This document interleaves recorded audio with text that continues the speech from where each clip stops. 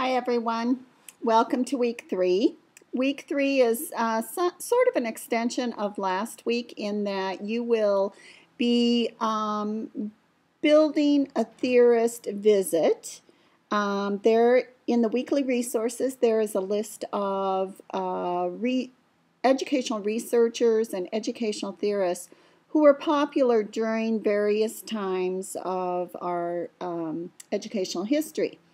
So staying with the same time frame that your video was in, for instance, if you were group one, you saw a video that ranged in date from 1700 to 1890. Staying within that time frame, select one of the educational theorists from the list in weekly in week three resources.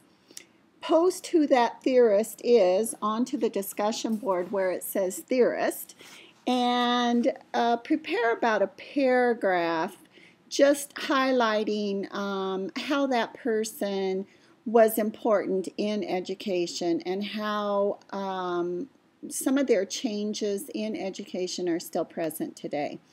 Um, you will be researching that theorist, preparing a three to four minute um, monologue where you visit us in our face to face weekend and present to the class um, just what it was that you believed in. You can come as the theorist, you can come as a descendant of the theorist, you can come as an artifact that was important to the theorist. Be creative.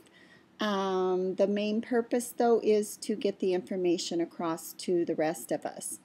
We will be going in chronological order during your presentations, so uh, we'll start with whoever the earliest theorist is and work through to modern times.